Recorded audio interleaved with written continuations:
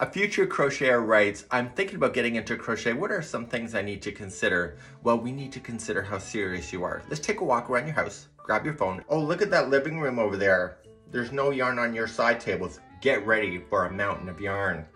Oh wait, is that your couch? I bet it's not used to eating crochet hooks. Okay, walk down the hall, show me those rooms. Is that your kid's room? When are they leaving the house?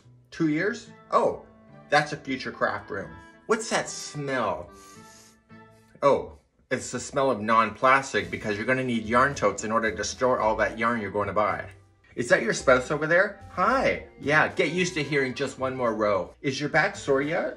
Oh, it's not? Oh, that's because you haven't spent hours in surfing for patterns. Oh, you just got an email from your son. You know, a real crocheter, that would be an email from a craft store giving you coupons.